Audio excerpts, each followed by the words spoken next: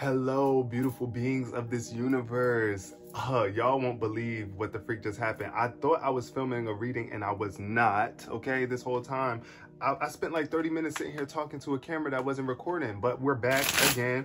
Going to be optimistic. I have to come back because I was called to do this reading for the universe.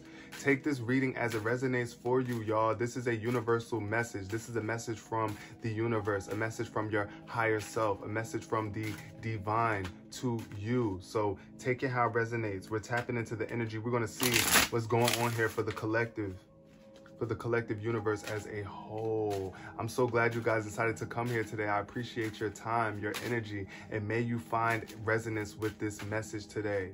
Peace, love, prosperity, tranquility. What wanted to come out? Dissipating wanted to come out. Hmm.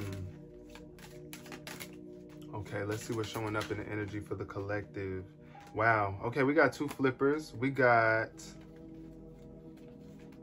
we got grief and enlightenment showing up in reverse.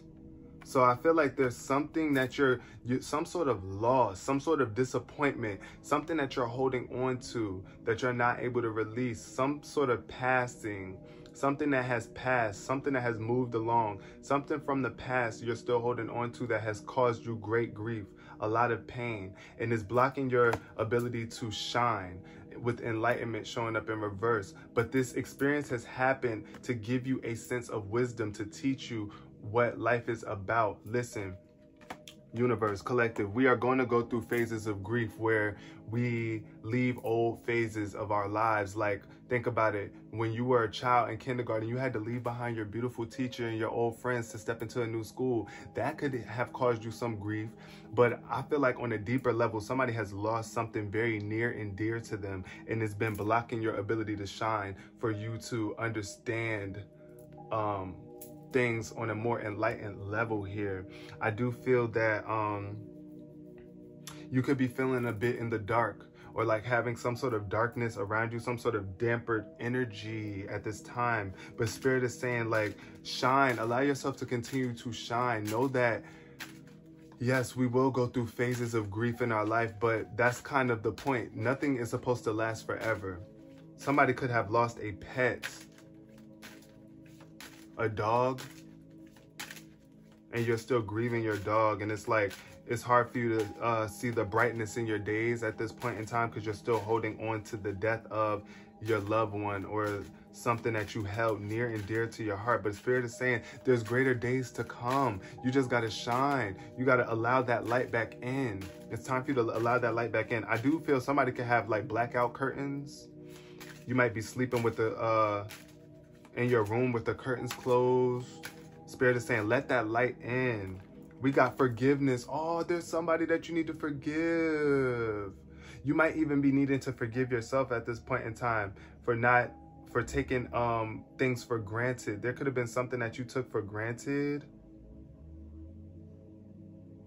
But Spirit is saying forgiveness is key. Forgiveness is what's going to bring you to greater levels of comfort. There's somebody or something that you need to forgive. And don't forget, forgiveness is never for that other person, it's for you. Workaholic. It could be somebody that you work with, or this could be surrounding your work. I feel like somebody could have lost a job. For some of you, this could have been a job loss or a position, a loss of a, a specific position. Spirit is saying shine light on your your situation.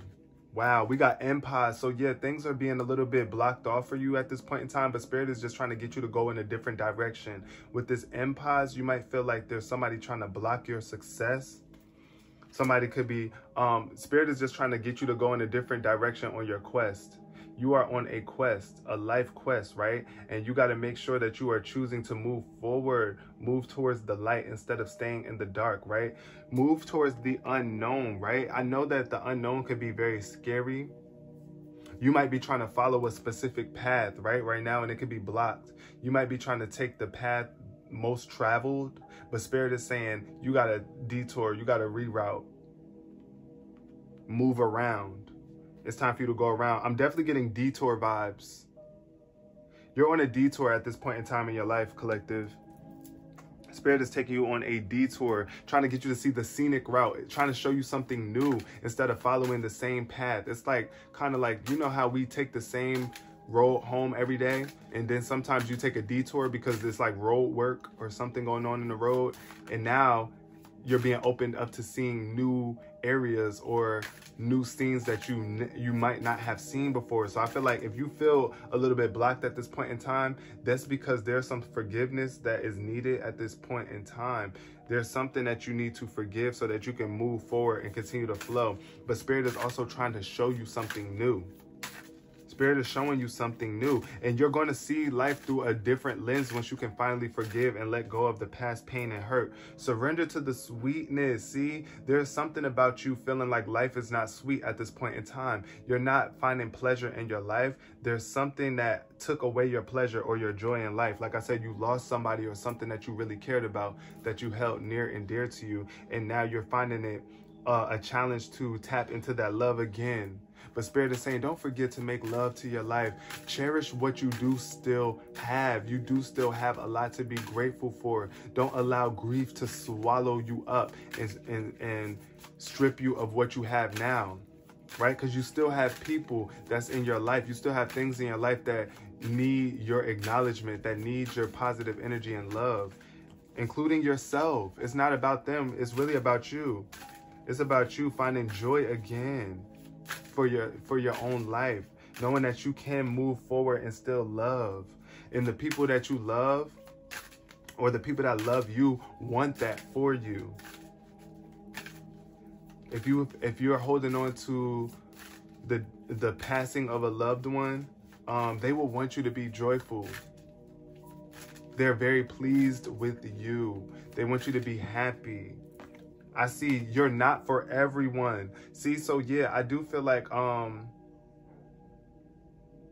you could have been like outcasted by a specific, like I said, a job or something like that or a group of people, but it's saying you're not for everyone, right? Everybody's not on the same frequency as you. Embrace your own weirdness and face your true north. And I feel like you know that you're not for everybody. I feel like you could be on the edge, on the leading edge. Look at how this woman is living life on the edge. Spirit is saying, live life on the edge. Be edgy, be different. You are a trendsetter. It's time for you to shine light on your weirdness. A lot of people look up to you when you are really shining, when you are confident in yourself, when you are not allowing darkness to consume you. You can't please everyone. Embrace your weirdness. Face your true north.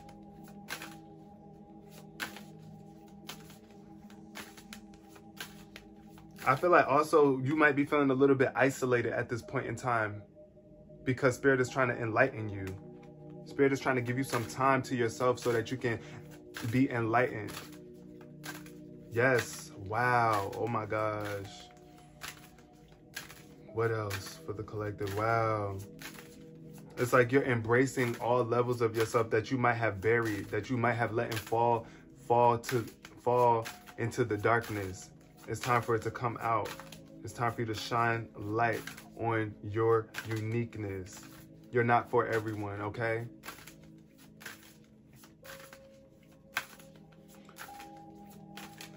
Everybody might not be on the same path to enlightenment as you either at this point in time. Forgiveness for the collective, what we got here. Blue flame, wow. Blue flame. Okay, look, this blue flame is about you awakening. This is like you could be in this very resty period, like where you're just trying to find peace, right? But I feel like you're about to be awakened. There's about to be a major spark in your energy here where you're about to come out of this dark place. Look at how that flame is in this dark room. It's like um a temple, a dark temple, and now you're lighting up at this point in time. This is what forgiveness is going to do for you. Is going to change your energetic aura it's like you're going to wake up spontaneously. Wow, spontaneously waking up. I feel like this forgiveness is about to wake you up on a different level. This is an awakening for you. It's time for you to wake up. This is a wake up call, collective. Okay, it's time for you to integrate what it is that you have learned throughout your life experience. It's time for you to set yourself free. Spirit is saying, wait, too. So there could be like a pause on this. Yeah, with that end pause energy showing up, I feel like right now it's just about you focusing on forgiveness, really forgiving yourself. Forgiveness is not something that you could just do in one day. This is something that you got to continuously do throughout your life. There will be times in your life where people overstep boundaries, where you give people um, access to you and they take advantage, um, or where you're just still holding on to past situations that you might be blaming other people for or still upset with people about doing like, you know what I'm saying? You're still upset with certain people for doing certain things that they did to you, but Spirit is saying, look, it's just time for you to really tap into that energy of forgiveness, not for them, but for you, so that you can awaken and ascend to new levels of consciousness and awareness, so that you can really see things from a broader perspective here. Wow, we got two flippers. You got star bathing. Wow, you are a light, you are a star seed. You are a star. It's time for you to take care of yourself, nourish yourself, allow yourself to activate. Yes, this is the energy of activation. It's like your your gifts are about to be activated. Your star power is about to be activated. Look at this card though. I don't know if y'all can see that. It's like a woman laying down and she's like soaking up the starlight you might be stargazing or you might want to stargaze, like lay down on the ground and look up at the stars. I don't know if you guys have a window in your room that you could look out the window and stare at the stars, but Spirit is saying just rest and know that you come from that higher place. We all have descended onto this earth plane from the stars above, right? That starlight lives inside of us. It's time for you to tap into your light body. It's time for you to release any dense energies so that you can elevate, so that you can shine like the star that you are. But this is why you got to forgive because you're not going to be able to move forward in a healthy way on your journey if you are still allowing somebody's negative energy to hold you back. And then we got the cosmic heart. Oh my gosh. Your heart.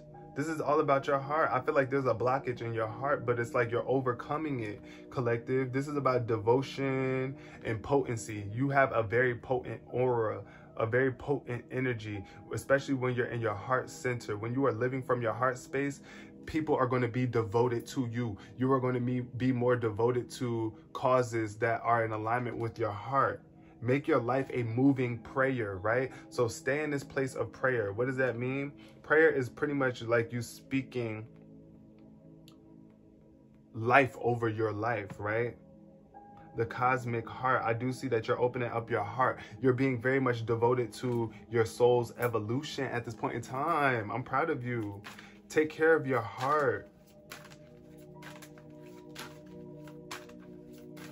Stop living in the dark here. There's a lot of people in this world living in the dark. Relationships showed up, yeah. So this is definitely about a relationship here. Someone that you love so much here. This is why um, I feel like you're grieving. It's some sort of relationships that you're grieving. You might have um, fell out of contact with certain people that you loved or literally life just kind of took them away. Um, but Spirit is saying like, look, when it comes to you trying to build new relationships with people, you're not for everyone. Everybody's not going to want to be your friend. Everybody's not going to want to be in connection with you, but you just need to know that you are attracted to the people that serve your highest good and you're going to feel it, right? Your relationships should not feel forced. They should just feel good. You know when someone has your best interest at heart. We got failure at the bottom of the deck. So I do feel like you might have felt like a failure because of some relationships. Um, ending, but you're not a failure. You might have even made a mistake in a relationship or a connection with someone. But it's like just learn. Every every mistake is just an opportunity for you to learn. You never really truly fail unless you just don't learn from your mistakes and you keep on reliving the same situations over and over again. We got judgment showing up here. Wow. So there could be uh, people around you that are judging you or that you want to judge, but Spirit is saying make proper judgment. Understand that everybody has their own unique path and challenges. So instead of judging one another in a harsh way, look at one another from this beautiful enlightened perspective that we are all here just trying to find our way. And yes, we make mistakes. All of us have made mistakes in our lives. But we got to be willing to forgive, right? If we want our mistakes to be forgiven, then we got to be able to forgive other people for their mistakes, right? We all make mistakes. Self esteem showing up in reverse. I do feel like there could be somebody's judgment um, that could be lowering your self esteem, but realize that you are gifted. You have gifts of the soul that benefit you and others. So, um, if you are going to judge yourself, judge yourself in a positive way and judge others in a positive way as well or step away from people that you feel you have to judge negatively now we got indecision so it's like you're really making the decision i'm proud of you i feel like this decision is you taking care of your light body, you allowing yourself to evolve. You're making that decision to listen to your intuition. Now, we have an inner voice, right?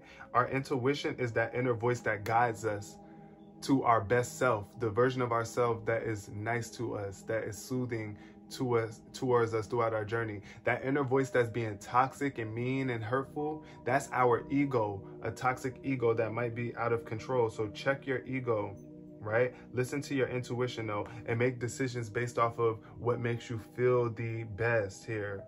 Which anything that's bringing more light into your essence, into your body, which is forgiveness. I feel like somebody's definitely making the decision to forgive. Forgiveness does not make you weak, it makes you strong. It takes a strong person to forgive.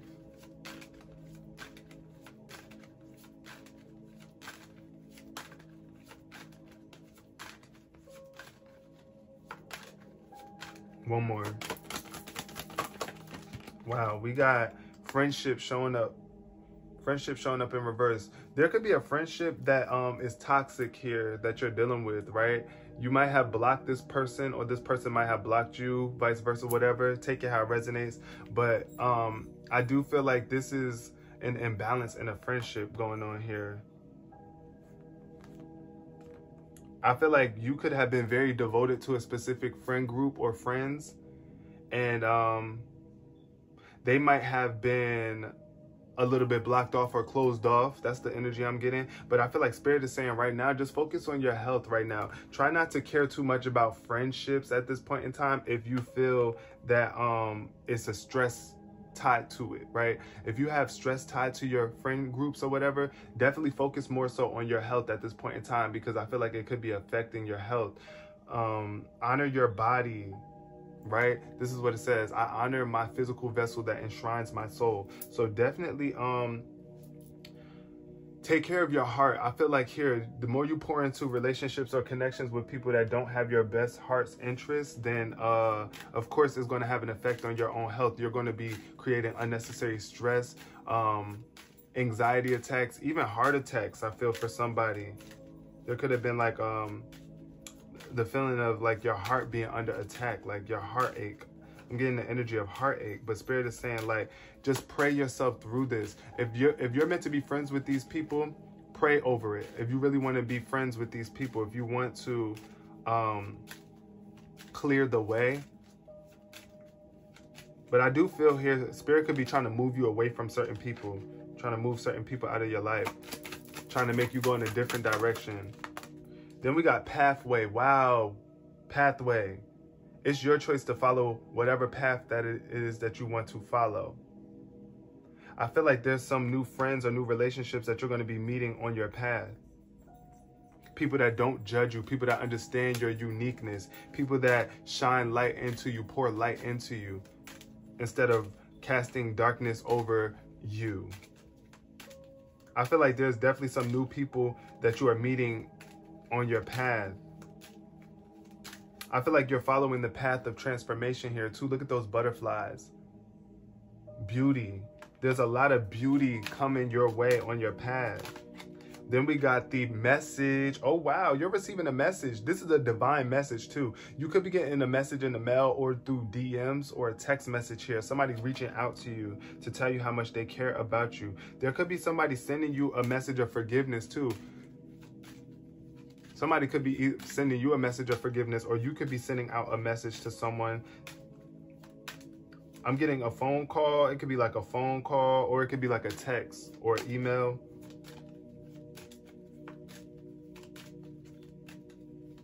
July could be very significant for somebody. Wow, we got um privileged lady wanted to come out. So yeah, you're about to be very much privileged. There's something like where um in terms of your life increasing your value going up realizing that you are very privileged. You can definitely be coming into contact with a woman who is well off, or this is just your energy at this point in time. Taking care of yourself, right? Treating yourself better, protecting yourself from um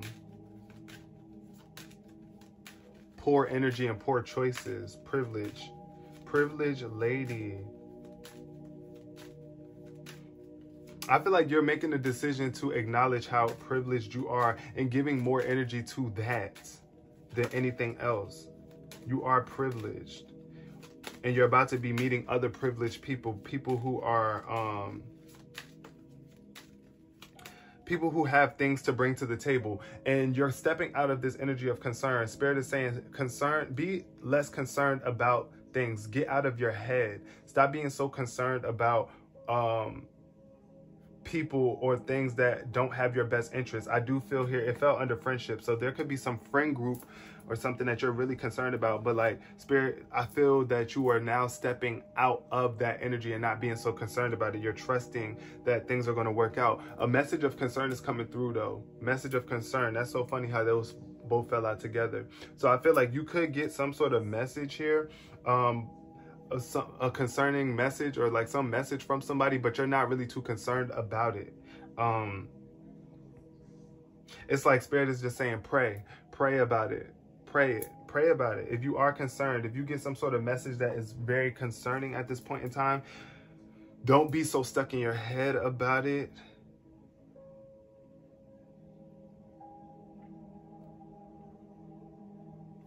Definitely I feel this energy of reaching out to a friend. If there has been a friend that you've been neglecting, you might really want to reach out to them or they could be reaching out to you soon. Take it how it resonates, y'all. But I'm gonna leave this reading here. I hope y'all did benefit from this message in some way, shape, or form. If you did, please give it a thumbs up. Okay, comment below uh, your situation if anything was confirmed here. And until next time, peace, love, and prosperity.